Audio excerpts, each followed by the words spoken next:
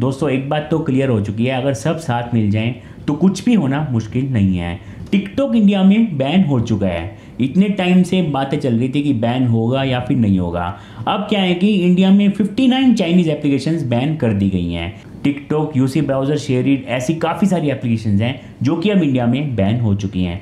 मैं आपको डिस्क्रिप्शन में पूरी लिस्ट दे दूँगा, वहाँ से आप चेक कर सकते हैं। अच्छे से चेक करो और अपने सारे फ़ोन देखो करके कोई भी वायरस रहना नहीं चाहिए आपके फ़ोन में। अभी ये एक पहला स्टेप है, बहुत ही स्ट्रॉन्ग है, लेकिन ये एक पहला स्टेप है। आगे और बहुत ही स्टेप्स लेने बाकी हैं।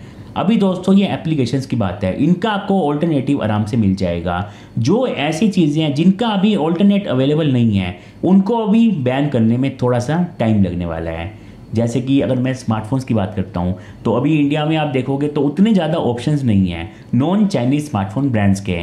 तो ऐसे में टाइम लगेगा बट हो सकता है कि इंडिया में जो चाइनीज़ कंपनीज़ काम कर रही हैं, उनके ऊपर भी कुछ ना कुछ मुसीबत आ सकती है आने वाले टाइम में। तो Poco Xiaomi Realme one plus ये इंडिया में बहुत ही पॉपुलर हो चुके हैं। और इस बार तो मोटोरोला ने भी अच्छा फ़ोन लॉन्च किया है मोटो वन फ्यूजन प्लस तो ऐसे में जब तक हमें इनकी टक्कर का फ़ोन इन्हीं के प्राइस पर नहीं मिलता तब तक इनको पूरी तरह से बाइकआउट करना बहुत ही मुश्किल है। अगर आप इसी तरह से आवाज़ उठाते रहे तो नॉन चाइनीज़ स्मार्टफ़ोन ब्रांड्स भी आगे उठ के आएँगे और वो पूरी टक्कर देंगे चाइनीज़ स्मार्टफोन्स को।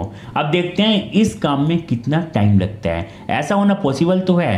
टाइम कितना लगेगा, ये कुछ भी कंफर्म नहीं है। देखते हैं बाकी क्या होता है आने वाले टाइम में। अगर आपके माइंड में पबजी को लेकर डाउट है तो देखो पबजी क्या है कि साउथ कोरियन कंपनी और चाइना, इनका मिक्सचर एक है। तो इसलिए फ़िलहाल उसको बैन नहीं किया गया।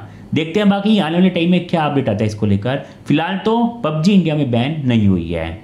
अब दोस्तों, मुझे आज बहुत सारा काम है। मेरे सारे फ़ोन मुझे चेक करने हैं कि कोई भी वायरस इनमें छूट ना जाए। तो आप अपना फ़ोन चेक करो, मैं अपने फ़ोन चेक करता हूँ। और फिर मिलते हैं किसी और वीडियो में।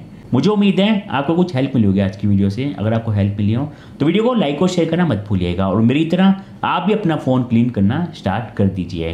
टाइम लग सकता है, काफ़ी सारी एप्लीकेशन है। वैसे तो मैं यूज़ नहीं करता कोई भी चाइनीज़ ऐप फिर भी चेक करना पड़ेगा, कहीं कोई ऐप रह ना जाए।